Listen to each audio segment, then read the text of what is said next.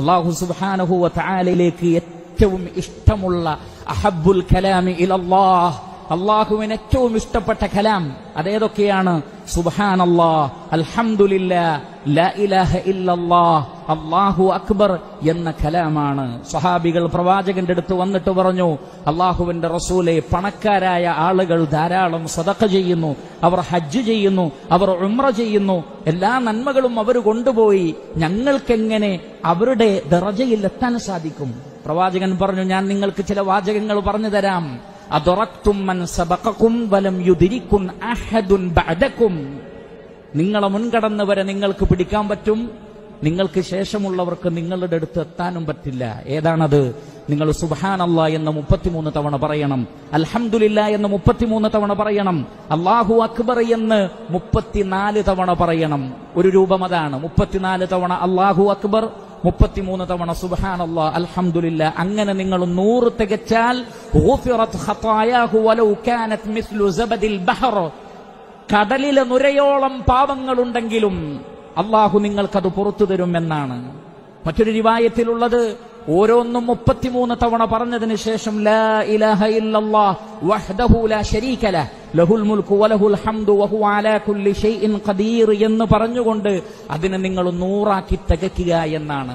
മറ്റൊരു രിവായത്തിൽ പ്രവാചകൻ പറഞ്ഞത് സുബഹാനല്ലാ എന്ന് ഇരുപത്തിയഞ്ച് തവണ അൽഹംദുലില്ല എന്ന് ഇരുപത്തിയഞ്ച് തവണ അള്ളാഹു അക്ബർ എന്ന് ഇരുപത്തിയഞ്ച് തവണ ല ഇലാഹ ഇല്ലല്ലാ എന്ന് ഇരുപത്തിയഞ്ച് തവണ. അങ്ങനെ അതും നിങ്ങൾ നൂറ് തികയ്ക്കണമെന്നാണ് ഇനി അതിനു പോലും സമയമില്ലാത്തവരോട് അള്ളാഹുവിന്റെ റസൂൽ സല്ലാഹു അലൈഹി വസ്ലമ പറഞ്ഞത് ഖസ്ലത്താൻ لا يحافظ عليهما عبد مسلم إلا دخل الجنة وهما يسير ولكن من يعمل بهما قليل അള്ളാഹുവിന്റെ റസൂല് പറയുകയാണ് രണ്ട് ഹസലത്തുകൾ ഒരു മുക്മിനായ അടിമ അത് മുഹാഫലത്ത് നടത്തിയാൽ പതിവായി ചെയ്താൽ ഇല്ല ദഖലൽ ജന്ന ആ വ്യക്തി സ്വർഗത്തിൽ പോവാതിരിക്കില്ല അത് പക്ഷേ വളരെ കുറച്ചേ ഉള്ളൂ എന്നാൽ അതനുസരിച്ച് പ്രവർത്തിക്കുന്നവർ അത് വളരെ ലളിതമാണ് പക്ഷെ അതനുസരിച്ച് പ്രവർത്തിക്കുന്നവരും വളരെ കുറവാണ്. എന്നിട്ട് പ്രവാചകൻ പറഞ്ഞു യുസബ്ബിഹു ഫീ ദുബിരി കുല്ലി സ്വലാത്തിൻ ആശറ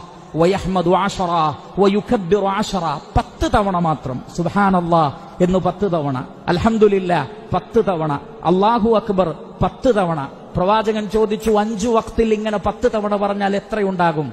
പ്രവാചകൻ പറഞ്ഞു മിഅത്തുൻ വഖംസൂൻ നൂറ്റി അൻപത് ആ നൂറ്റി അൻപത് അതെന്താണ്? ഫിൽ ലിസാൻ. നാവിൽ നൂറ്റി അൻപതേ ഉള്ളൂ. പക്ഷേ ഫിൽ മീസാൻ അൽഫ് വഹംസുമിയ ആയിരത്തി അഞ്ഞൂറ് പുണ്യമാണ്.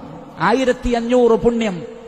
ശേഷം പ്രവാചകൻ പറഞ്ഞു ഉറങ്ങാൻ കിടക്കുമ്പോഴും നിങ്ങൾ സുബാനല്ലാ അൽഹംദുലില്ലാ ലാ ഇലാഹ ഇല്ലല്ലാ സുബഹാനല്ലാ അൽഹംദുലില്ല. ഇത് രണ്ട് മുപ്പത്തിമൂന്ന് തവണ. അള്ളാഹു അക്ബർ മുപ്പത്തിനാല് തവണ. പ്രവാചകൻ പറഞ്ഞു നൂറ് തവണ നാവിൽ എന്നാൽ മീസാനിൽ അത് ആയിരമാണ്.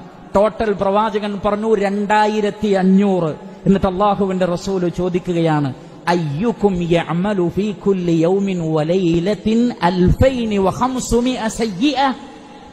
നിങ്ങളുടെ കൂട്ടത്തിൽ ഒരു ദിവസം രണ്ടായിരത്തി അഞ്ഞൂറ് പാപം ചെയ്യുന്ന ആരെങ്കിലും ഉണ്ടോ? ഇല്ല എന്നാണ് ഉത്തരം. രണ്ടായിരത്തി അഞ്ഞൂറ് പാപങ്ങൾ ഒരു ദിവസം ചെയ്യാൻ കഴിയുമോ? ഇല്ലെങ്കിൽ നിങ്ങളുടെ ജീവിതത്തിൽ വന്നു പോകുന്ന പാപങ്ങളൊക്കെ പത്ത് തവണ ഇതേപോലെ ചൊല്ലുന്നതിലൂടെ രാത്രി ഉറങ്ങാൻ കിടക്കുമ്പോൾ ചൊല്ലുന്നതിലൂടെ നിങ്ങൾക്ക് ആ നന്മകൾ നേടിയെടുക്കാൻ സാധിക്കും. സഹാബത്ത് ചോദിച്ചു അള്ളാഹുന്റെ റസൂലെ നിങ്ങൾ പറഞ്ഞല്ലോ അത് വളരെ കുറച്ചേ ഉള്ളൂ പക്ഷെ അത് പ്രവർത്തിക്കുന്നവർ കുറവാണെന്ന്. എന്താണ് കാരണം? പ്രവാചകൻ പറഞ്ഞു "യഹ് യഅ്തി അഹദുക്കുമു ശൈത്താൻ. ഇത് ചൊല്ലൽ വളരെ കുറച്ചേ ഉള്ളൂ. പക്ഷെ ഒരു ഷെയ്ത്താൻ വരും ഫി മനാമി ഉറങ്ങാൻ കിടക്കുമ്പോൾ.